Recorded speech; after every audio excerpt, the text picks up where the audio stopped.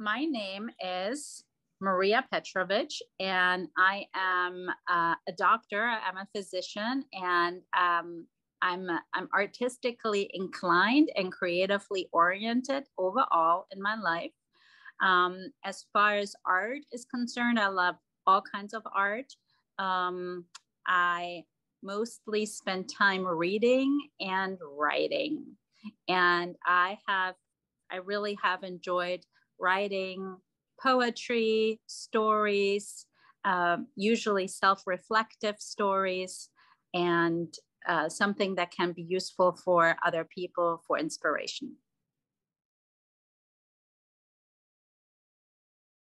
My takeaway from this course with Rafael Martinez was that I was able to create a piece of writing in about one month's time.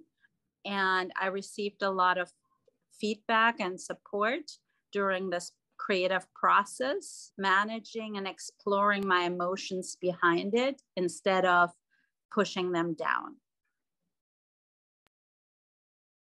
In my experience so far, this class have, has helped me to have more confidence in my writing and my ability to be creative and artistically active um, and has inspired me to write more. And um, it, it uh, made it clear to me that every little bit of art that we are doing can affect people's hearts and it can affect how they're thinking and feeling about life even if the effect is just one moment in time. It can really uh, transform people and how we all have the right responsibility and opportunity to affect other people uh, with art.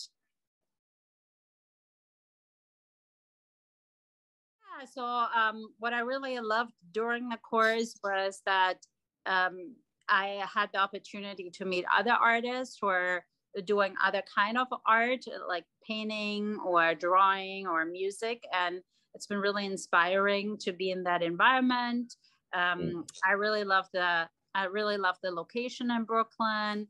Uh, I love the sense of camaraderie. Um, that that was really cool, um, and um, and it's been really inspiring me also to look into other styles of art, even like trying to you know look into drawing again and things like that. So it's been it's been really a, a fun experience. That's all I can say. Is that this is a fun process. Um, allow yourself to open up and explore any kind of challenges and obstacles that are behind what's holding you back in your artwork.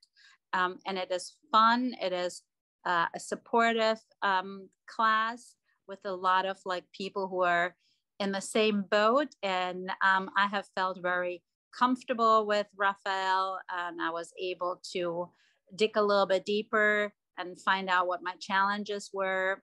And, um, and it has really, um, it's been really encouraging.